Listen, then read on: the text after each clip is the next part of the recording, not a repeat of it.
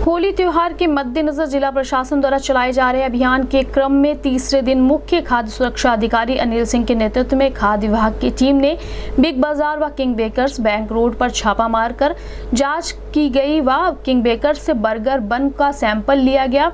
वहीं बिग बाज़ार से सरसों का तेल, ड्राई एवोकाडो व पिज्जा सॉस के सैंपल लिए गए। इसके अलावा टीम ने पादरी बाज़ार स्थित एक निर्माण इकाई से सोन पापड़ी का नमूना लिया व पचहत्तर मूल्य की पापड़ी सीज की।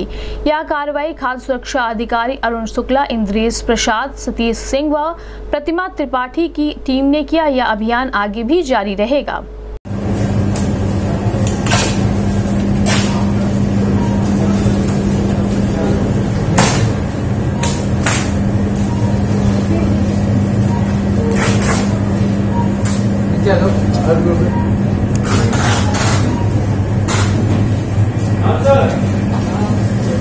एक यही मोला दे दीजिए